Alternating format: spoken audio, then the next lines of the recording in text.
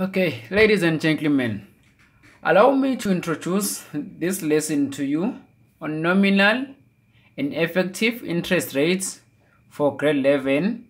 And as all know, my name Melulek Shabalala and I will present this lesson to you on how to introduce nominal and effective interest rates for grade 11 so that they won't forget this formula. Okay, my name Melulek Shabalala Okay, first of all, before we continue with this lesson, we have to remind ourselves that failing maths is not an option. And if it was, I was not going to take it. It kwe-maths. Okay, let's just continue. First of all, in, in, in nominal and effective interest rate, we have to remind ourselves the first thing. We have what we call a nominal and effective interest rates okay?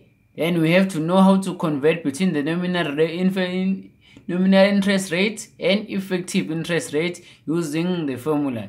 And we have to remind ourselves the formula for the compound interest that we have a formula that a is equals to p into 1 plus i exponent n. And how does a and p and i and n stand for? Please watch me for please watch another video that I have presented about this one. And we have to remind ourselves also the compounding periods. If they say compounded annually, we know that we have to divide interest by 1 and multiply by n by 1. If they say semi-annually or half-yearly, we know that we have to divide our interest by 2 and multiply by our n by 2. If they say compounded monthly, we know that we have to divide our interest by 12 and multiply our interest our n by 12. If they say compounding quarterly, we know that we have to divide our interest by 4 and multiply by our n by 4. And if they say compounded weekly, we know that we have to divide our interest by 52 and multiply by our n by 52. If they say compounded daily, we know that we have to divide our, our interest by 365 and multiply our n by 365. That is the most important thing and we have to remind ourselves in a nominal interest rate and effective interest rate. We have to remind ourselves the formula and the compounding periods. Okay, let's do this example. Okay, let's say I want to in okay I want to invest 2000 for one year at an earning an interest rate of 18% per annum. I want to invest this money. Then I will I want to invest in money compounded monthly. And other saving I want to invest it compounded monthly and annually. I have two options. I want to invest that money using these two options compounded annually and compounded monthly.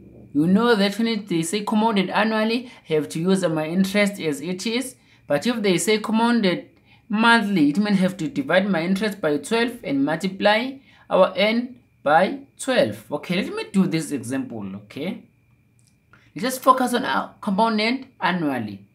If I invest my 12,000, so my two 2,000 and my interest rate of 0.15 and compound that annually means I have to use my interest as it is and for how long? For one year. That's why you have 1 and you have 0 0.18 for 18 percent. And another option i invest the same amount of 2000 and i divide uh, at any interest of 18 percent and for one year. That's why for for because it's compounded month i have to divide my interest by 12 and multiply n by 12 i have these two options okay let, let's just have a look there. When compound that annually how, how much i got? I got 2360 wow interesting. Okay guess what? Now if they say compounded monthly guess what i get there? I got 2391.24 it's quite bit more than that one compounded annually wow there is a problem now. I invested the very same amount for one year, earning an interest of 18%, but I got 2,360. But on the other side, I invested the very same 2,000 and my interest is 18% compounded monthly and and my divide my interest by 12 and multiply by n by 12 but now i got different amounts. What's the problem now? What if okay can you see now? If if it is compounded monthly it means i receive the interest each and every month then i got the interest. That's why i got a bigger number there. It means when when you invest your money compounded annually compared to the money compounded monthly the money that compounded monthly you get more interest because you receive an interest in each and every month. Okay my problem here now i got different amounts but invested the very same money at the very same percent but that one compounded monthly i got more money. But what if i don't want to use compounded monthly and I want to I don't want to to get an interest each and every month but I still want to get that amount of 2391.24 cent but I want to get that money okay? What if I don't want my interest to be calculated each and every month. It means I but my problem here that 18% don't give me that month they say one day if I if I don't want it to be compounded month but that 18% don't give me that money okay? What if i want to invest my 2000 for one year and get that money of 2391.24 cent but the problem is that 18% won't do that. Wow what can i do? I don't want to use commoded monthly and i want to use commoded annually and get the very same amount. But the problem 18% don't give me that money. Whoa, hang on. You know that it means I need another interest that will make, that will give me that 2,391.24 cent. Okay. Therefore, I need another interest rate that's gonna give me the same amount as compounded monthly. Hang on, let's just do this one now. Okay. The money obtained from the investment compounded monthly, we know that we got 2,391.24 cent. Okay, let's just calculate it as my interest. How, how much is my interest there? You know my interest is equal to money obtained, the total, minus the initial amount, the money that I already have initially. It means I have to take that 2,391.24 cent minus my initial amount of 2000 and I got my interest of 391 rand, 24 cent. Wow, this is my interest. Hang on, what if I want to express my interest in terms of percentage? Let me express my interest in terms of, of percentage. It means express my interest in terms of percentage. It could be 391,24 cent divided by the original amount 2000 that I already have and I got 0 0.19562 of which is approximately 19.562 percent. It means if I got I was invested my money compounded monthly I will got I will get that that that my interest will be 391 391.24 cent. But when you express it in terms of percentage i got 19000,562 percent. Wow how nice. Okay let me redo that one now. Let me let me invest the very same 2000 using this interest rate now and see what happened. Okay now let us use the new percentage for my investment. Okay this is my invest investing 2000 and now i using the new percent now 0 0 comma 19562 percent and invest my money for how long? For one year. Hang on let us see the answer. Wow how nice interesting. Now i got that money but i'm using the, the, the new percent and it is compounded annually and for one year now i got that money. Wow how nice. I got now 2391 24 cent. Wow.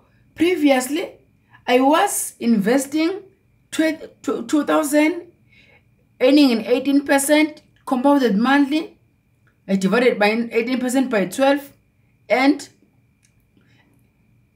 multiply my exponent n by 12. But I got the same answer. Wow, it means I got the same answer. And I mean these two things are equal. I, when I use my new percent and my previous percent, they are equal. Wow, how nice is mathematics? Okay, I also got what? 2091, but in first case, I was using the different percent to 0, 195,62 compounded annually. Here now, I used 18% compounded monthly, but I got the same amounts. Wow, how nice. Okay, you see now, I invested 2000 using the interest of 0, 195 compounded annually and I got this money. And on the other side, I have used 18% compounded monthly and I got that money. Wow, how nice. Now, in conclusion, as I have said, I have used now 2000, invested 2000, earning an interest of 0, 19562 for one year compounded annually. And on the other side, I have invested the very same amount of 2000 earning an interest of 18% compounded monthly. I have this thing, I have proven that they're, it is, they're equal. When you simplify this thing, you know, I will divide with 2000 on both sides and I have with this thing 1 plus my new interest rate and the interest rate there of 18% divided by 12 exponent n. Wow! How can I give what if I give my new percent a new name that we call effective interest rate because I have used it to generate the amount, the very same amount that I used when I, I was using 18% compounded monthly. Wow, the generalization from the above, we come across with the new thing there. We come across with what we call the effective an interest rate formula. If we say 1 plus I, the interest rate that I, I got to, the interest rate, the new interest rate that I used to generate the very same amount with that one of compounded monthly, we called in, in an effective interest rate equal to what?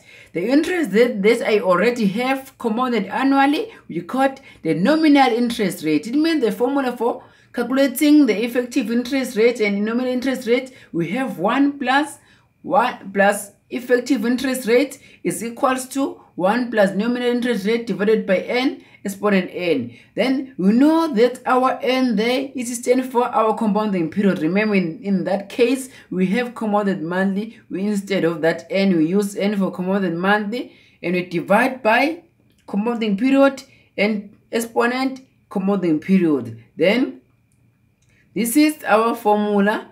When we write in short, 1 plus 1 plus interest, effective interest rate is equals to 1 plus nominal interest rate divided by compounding period exponent n. Then we have to remind ourselves this thing. In the exam, we may be asked, we may be given the effective interest rate, then we'll be asked to convert effective interest rate to nominal interest rate or you may be given the nominal interest rate I and asked to convert it to effective interest rate. It means the most important thing here, you have to remind yourself this formula because you won't be given it in the exam. You have to know it by heart and you know the compounding periods, that one represented by n, and you, you won't be given the compounding period in the test. You have to remind it by heart. Wow, thank you so much. I think you understand now the formula for converting the effective interest rate and the nominal interest rate. Wow, how nice in mathematics. This is the end of my lesson. Thank you so, so much for your attention. I hope you enjoyed this video. From now, you know the formula for effective interest rate and nominal interest rate, the convention. Okay, let's just enjoy the beauty of mathematics. Let us sing our nice song titled, oh, How Nice is Mathematics. And sisho sonke sithi failing maths is not an option. If it was i was not going to take it. Mabudede bumnyama kuvela ukukhanya kwi-mathematics wow. Thank you so much.